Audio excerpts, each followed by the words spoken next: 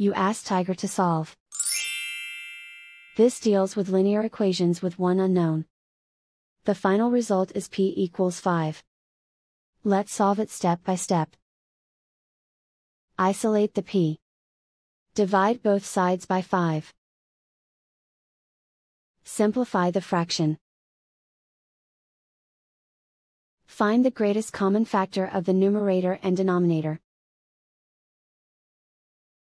Factor out and cancel the greatest common factor. And so the final result is p equals 5.